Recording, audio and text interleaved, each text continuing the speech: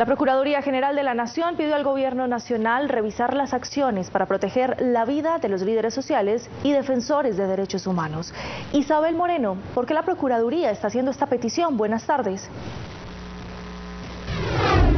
Andrea y televidentes, muy buenas tardes. El procurador delegado para la defensa de los derechos humanos, Javier Sarmiento, resalta que el fenómeno de homicidios de líderes y lideresas sociales continúa en el país, así como afirma que por estar en un año electoral incrementan las amenazas. En zonas como el Cauca, Nariño, Valle del Cauca, priorizadas en el plan de emergencia del Gobierno Nacional, no se observa reducción en las afectaciones a esta población lo que nos hace cuestionar la efectividad de esta estrategia.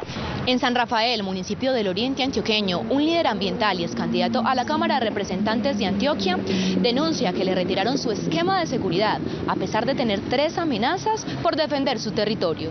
El día 9 de marzo de 2022 fui víctima de amenazas por parte del grupo al margen de la ley Autodefensas Gaitanistas de Colombia AGC, donde fui declarado objetivo militar con las siguientes afirmaciones, abro comillas.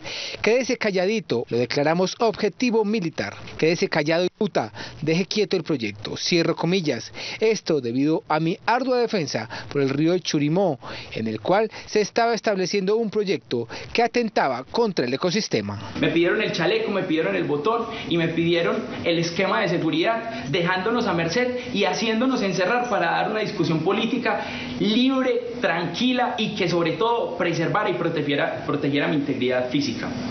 Acá estamos dando la cara con las discusiones ambientales del departamento de Antioquia, pero un poco decepcionados del gobierno de Gustavo Petro. Miguel Gutiérrez ha realizado varios debates donde rechaza la construcción de pequeñas centrales hidroeléctricas por los daños que causan a los ríos que bañan esta subregión del departamento.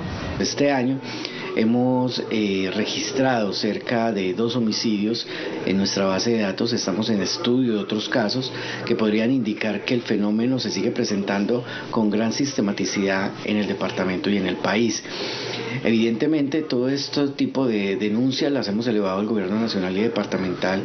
El año pasado fueron asesinados 28 defensores de derechos humanos y en lo que va del 2023 se han reportado 25 amenazas directas a esta población en Antioquia. Isabel Moreno, Hora 13 Noticias, cubrimiento total siempre.